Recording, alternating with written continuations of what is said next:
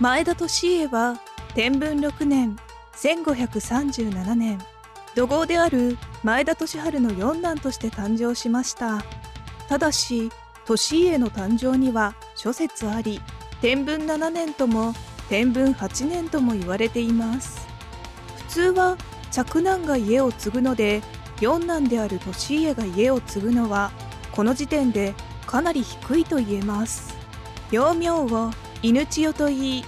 父利治が織田壇上の上家に仕えていたことから利家も幼い頃から織田信長に仕えました。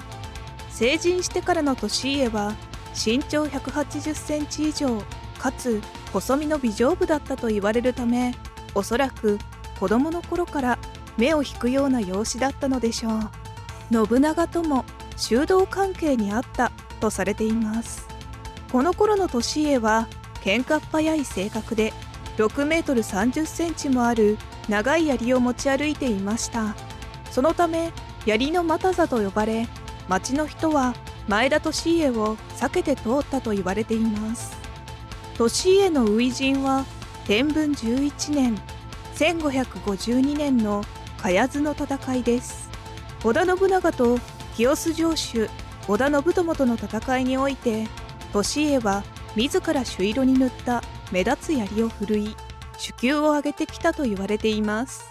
その後も伊能の戦い浮野の戦いに従軍し功績を上げたことで織田信長も利家の強さを心から称賛し熱く寵愛しました。永禄元年1558年22歳の前田利家は当時12歳だった松と結婚します。2人の母が姉妹。つまり利家と松はいとこ同士であり結婚当初から円満な夫婦だったようです。松は幼い頃から容姿端麗で賢く読み書きそろばんもたしなむ才女だったのです。公私ともに順調に見えた利家でしたが思わぬトラブルに襲われます。それがいわゆる郊外切りです。信長の側近の一人に茶坊主の十阿弥という男がいましたがこの男が利家の郊外を盗みさらにはあろうことか利家を侮辱したのです。郊外というのは髪を整えたり髪型を崩さずに頭皮を隠したりする道具です。しかもこの郊外は松の父親の形見の品でもありました。利家にとっても大事なものだったのです。当初利家は怒りをこらえて信長に訴えましたが信長は十阿弥を咎めることはせずさらにさっさ成政までもが十阿弥の型を持ったため利家の不満は膨らんでいくばかり。そしてとうとう利家は十阿弥を自分の手で切り捨ててしまうのです。しかも信長の目の前で当然信長は大激怒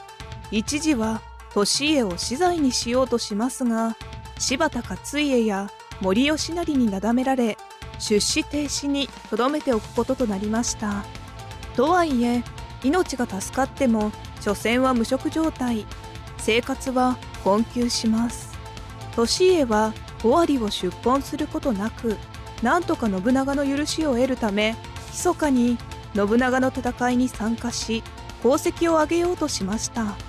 あの桶狭間の戦いにも参加し出給を3つも取る大活躍をしたとのこと。しかしそれでも利家は許されず浪人生活のままでした。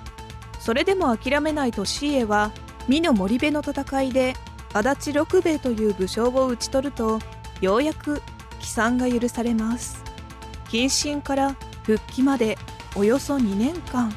子供も生まれていますので松も相当な苦労をしたことでしょう。落ちぶれた時に声をかけてくれる者こそ本当に信用できる。利家は生涯この2年間のことを教訓としていました。無事に帰参を許された利家はその後織田家の主な戦いに参加していきます。その武勇を認められた利家は赤穂州にも抜擢されています。信長の側近エリートの筆頭であり信長を守るための精鋭部隊にあたります。永禄12年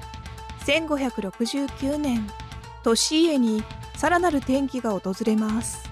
それが家督相続です利家の父前田利治の死後家督を継いだのが長男の前田利久でしたが利久には子供がおらずまた病弱でした当初利久は養子を取ってその養子に前田家の家督を継がせる計画を信長に報告していました。しかし信長は武勇に優れた前田利家が前田家を継ぐべきだと判断。信長の鶴の一声で前田家の当主は利家に決まりました。家督を継いだ利家はその後も信長と共に激しい戦いを繰り広げていくこととなります。元気元年。1570年。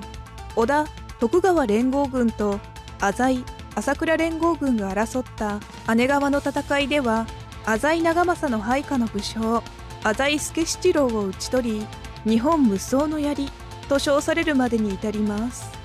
その他石山本願寺と争った春日井堤の戦いでは退却する織田軍を守るためただ一人戦場に踏みとどまり味方が逃げるのを助けました。天正2年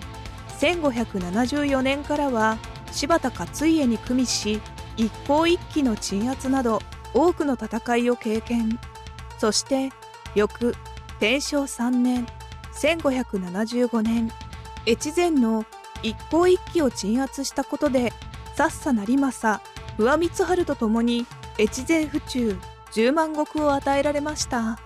こうして前田利家は府中三人衆の一人となりさっさ成政不破光春と共に越前の国を治めることとなります。順調に手柄を立てていく中利家はさらなる転機を迎えます。それが本能寺の変です。本能寺の変によって織田信長は急死。羽柴秀吉が明智光秀を討った山崎の戦いの最中利家は柴田勝家のもとで上杉軍と対峙していたためこの戦いに参加できず信長の仇を討つことはできなかったのです。そして山崎の戦いの後織田家の後継者について話し合う清須会議が行われます。利家は自身が共に戦ってきた柴田勝家利家の娘を養子入りするほど仲の良かった羽柴秀吉という両者の対立に巻き込まれてしまいます。そしてその対立が静ヶ岳の戦いへと移行していきます。静ヶ岳の戦いでは当初利家は柴田勝家側についています。しかし利家は積極的な動きを見せず柴田軍の佐久間盛政が羽柴軍に負けた方を受けるとすぐに軍を撤退させてしまいます。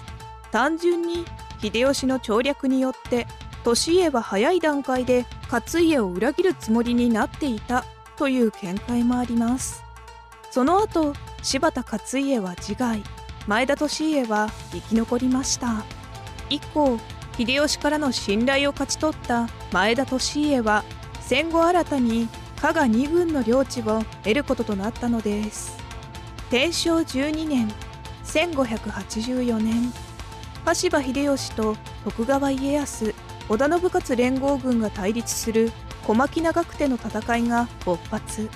その隙をついて以前より能登加賀地方を狙っていたさっさ成政が前田利家の治める能登へ侵攻してきました。これが末森城の戦いです。両者の間でかなり激しい戦いが繰り広げられましたが最終的には四国征伐を終えた秀吉が10万もの大軍を送りさっさ成政が籠城していた富山城を包囲。織田信勝の仲介もありさっさ成政は降伏しました。それからの利家は秀吉の第一の家臣かつ友人のような立場で出世を重ねていきます。には長秀が没したことで国替え大名の領地を他の場所に移し替えることが行われ丹羽家が持っていた領土を前田利家が引き受けることとなりました。こうして前田利家は加賀越前能登の三国を支配し加賀百万石初代の大名として北陸を治めるに至ったのです。慶長3年1598年前田家の家督を嫡男利長に譲った利家でしたが豊臣秀吉は利家が隠居生活に入ることを認めませんでした。いわゆる五大老に任じられ幼い秀吉の息子秀頼の後見になることも頼まれ大阪城にとどまることになります。そして同年8月豊臣秀吉が逝去。幼い秀頼をよろしく頼むと遺言を残してこの世を去りました。こうなるといよいよ利家の頭痛の種が増えていきます。徳川家康が伊達家や八塚家に養女を嫁がせ自分の勢力を強めようとしたからです。これを防ぐため秀吉は生前に大名同士の婚姻を禁ずると明確に決めていました。これに逆らうということは豊臣政権を守るつもりがないと宣言したも同然です。利家たち豊臣家の忠誠心が強い大名たちにとっては見過ごすことはできない時代です。利家家康双方の屋敷にそれぞれの派閥の大名が集まるなど騒動は半年近く続きました。さすがに徳川家康も前田利家との全面対決は避け互いに静止を交換することで和解しています。利家としては秀吉の意思通り家康や他の大名と共に秀頼を盛り立てていくつもりだったのでしょう。しかしその前に自身の寿命が尽きてしまいました。慶長4年1599年3月3日に利家はこの世を去っています。家康との和解から2ヶ月後のことでした。去年62もし前田利家がここで亡くなってなければこの後関ヶ原の戦いも起こらなかったかもしれません。逆に見れば徳川家康が天下取りへ上り詰めるきっかけにもなったと言えますね。最後まで動画をご覧いただきありがとうございます。よろしければ高評価チャンネル登録にクリックをお願いいたします。